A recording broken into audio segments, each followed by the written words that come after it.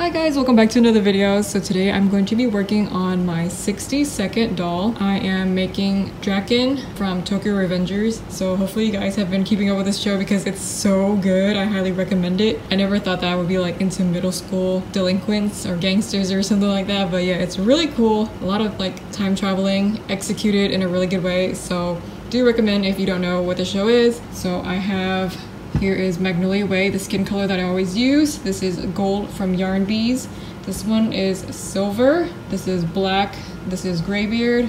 And this is the blonde, the yellow that I'm gonna be using today, which is Buttercup. And I also have my 12 millimeter eyes. So yeah, these are the colors that I plan on using. And I'll be back with the update. Actually, I'm gonna throw in some silver in here as well. And now we will get back to the video. Hi guys, welcome back to the first update. So I just created both of the legs. This is what the bottom of the shoes look like. They're dark gray, followed by a lighter tone. And then I am transitioning on to black because I'll be attaching pants right after this. So we're gonna be joining on the black pants and then working all the way up. Hi guys, welcome back to another quick update. Just wanted to show you what the body looks like. It's really simple. I attach pants onto the body. So this is what it looks like. The shoes, everything. Here's the back side. And I'm now going to go ahead and continue on to make the head. Okay, so here I did like a trial and error of printing the dragon tattoo that he has like on his head because there's no way I'll be able to actually sew it on or if this method doesn't work either I'm just gonna leave his head bald. But I feel like the tattoo is really important so I'm gonna go ahead and try to put that detail on the side of his head. Hey guys back to another quick update. So this is what the cutout of his tattoo looks like. And I accidentally ripped off a bit of the piece right there um, but it's okay I'm gonna see if I can even use this on his head so I plan on just taking this, gluing it on the side of his head. I have no idea how it's gonna look. If it looks tacky, I probably won't use it. I figure there's no way I can sew this on. This detail looks way too good, and if you can't sew it to be exactly like how it is on his head, then I feel like it's better off without it. So here's what he currently looks like. This is his face. I just added on the regular eyes you know, your basic generic white and black eyes. Here is what this one looks like. So it's gonna be like this on the side of his head. I, I honestly don't know if this is gonna work or not, but I think I got the size of the tattoo pretty accurate. I had to print this out like several times, trial and error, trying to see like what size could possibly fit on the doll's head. But yeah, it's something like this. See, and I use like one of those X-Acto knives. I got, I have like one of the knives for like the manga. It's like those uh, screen tone cutting knives. So that way it's really easy to cut out some of like the little um, edges along the tattoo just to clean it up a bit because you know scissors aren't gonna work very well so yeah this is the update hi guys welcome back to another update so this is what Draken Draken looks like so far I added on his hair cap and this is what it looks like. His hair is going to be pretty easy to do, I think. Very simple. Hair cap looks different than normally because yeah, I had to make it shaped to where it only covers the top part of his head. He has some like written kanji in gold. So I just sewed on like a line for that detail. and then this is what the side of his head looks like. And yeah, this is what we got so far. Now we're gonna go ahead and finish up his outfit. Hi guys, welcome back to another quick update. So this is what his outfit looks like when it's done. I gave him the little belt along with the belt loops and the little buttons, all the gold details on his shirt. Okay, so I printed out the tattoo design and I pinned it along his head. So I think what I'm gonna be doing is just simply gluing this on. Hopefully it doesn't look too tacky. The ink isn't really dark enough, so my mom told me that I should like go back and fill it in and make it a little bit darker. So I guess I'll go ahead and do that. And I mean, I think it fits along the side of his head. I just don't know because it's like out of paper. It might not look so great, but it's not the worst thing ever. So I'm probably just gonna leave it there as detail because I feel like the tattoo is just really important and it's kind of needed. So yeah, this is what we have so far and I will be back with the final update Hi guys, so I'm back with another progress update. So we're gonna get started on Mikey. I'm so excited to start this one. This, he's like my favorite character. Of course, he's the leader and everything, so he's super cool. We got very similar yarns as Draken. Uh, so this is Graybeard. Here's the same hoodie. I also use gold. Magnolia Way is the skin, black. And then the main thing that's different is the yellow, which is instead of buttercup, this is butterscotch.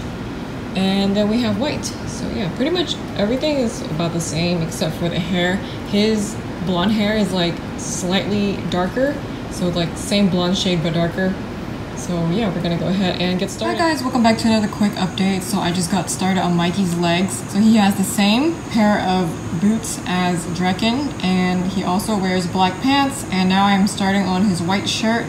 Here's what the back side looks like and yeah, this is the update. I'll be back with the next one. And I also got some of these LED light candles from Costco just because they give off some really nice light. So I figure I could use something like this for the holidays, possibly Halloween or Christmas or something. And I don't know, I just really like the feel of candles and I've been craving for something warm like this. So yeah. Guys, welcome back to another update. So this is what we have so far. Here is the entire body intact and these are the eyes. I gave him the same eyes as Draken and yeah, this is what it looks like. His white shirt, black pants. Here's the back side. Pretty simple. I'm gonna go ahead and make the bottom of the shirt, attach the arms, and his hair cap. So I'll be right back. Hi guys, welcome back to another update. So I, I'm just gonna show you really quick what I do or what I did to make his outfit. This is the jacket that he has over his body. So he doesn't wear his jacket like properly. He wears it like over his shoulders. So I, this is how I decided to make the sleeves for that. it's just like two little thin flaps like this. Make it look like he has sleeves on his jacket while it's gonna be over his shoulders. Here's the other side. And then these are like supposed to be the little gold details, the little kanji, and then the little buttons. He has also some other buttons over here as well. So yeah, nothing too fancy. Here's what the inside looks like. It looks really ugly, so hopefully that doesn't show when I put it on, but yeah. I just glued on the sleeves and then this is the little collar right here and then here's the back side. But yeah, there you go. This is how I made his little jacket. Okay, so here's what the jacket looks like on him and this is what I did for the rest of the body. I gave him the limbs just like how it is on the reference, the hair cap, here's the back side. So yeah, this is what it looks like so far. I think it's pretty good, pretty decent. and for the final fun part, the hair. Here's a quick update on how I'm doing his hair. So just a few strands. I'm starting off with the two side strands and then this top part where he ties his hair back. And I'm using 12 chains for this one. So it's just probably gonna be like all 12 chains along the sides to create the layers. And yeah, this is about it. Okay, so here's Mikey's pigtail. His, not pigtail, oh my gosh, his ponytail and it kind of reminds me of like a banana peel like from the mario kart games and stuff. Just looks so funny. Anyways i'm doing three strands um, all single crochet and i'm gonna go ahead and attach it to the back of his hair and i'll go ahead and show you the final update. Just wanted to show you right here. This is what it looks like. I left a little open spot for the ponytail and I'm to be attaching it right there hair looks like so far. Anyway, I'll be right back. It's finally done. Okay, so I'm back with a final update. So here is what Mikey looks like, his hair, and this is the back side. This is the little few strands of ponytail that he has going on. So this is what it looks like. Side profile and back to the front.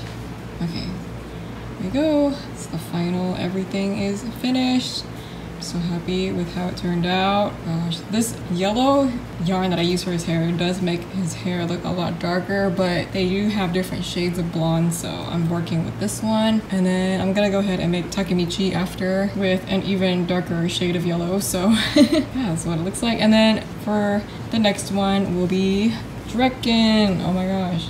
Okay, so here's what he looks like. I actually had to do a second attempt on his hair. The first one came out really weird. I didn't like how it looked the very first time I did it. I added some strands on the top of his hair, but I really hated how it looked and I despised it so bad that I had to like peel off everything and used my X-Acto knife to like peel off the entire hair cap, which was filled with glue. So yeah, this is how the result ended up looking like. Here's what the old hair cap looks like. This is what it looks like when I ripped it off. It totally tore off some of like the skin yarn right there. Wow, it looks, yeah, it was pretty bad. It was really stuck on there. I wasted all this yarn.